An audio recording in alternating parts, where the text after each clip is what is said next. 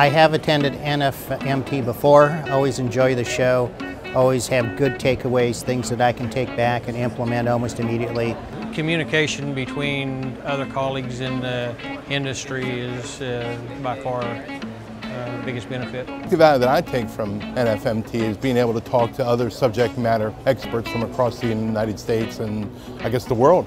Um, you know, people doing the same thing that I do or, or, that me and my colleagues back at the office do and being able to sort of pick their brains a bit. So I think that that's what I value the most out of NFMT. Trade shows are always good for information on something that you need to get. It's always great to get contacts and renew old ones.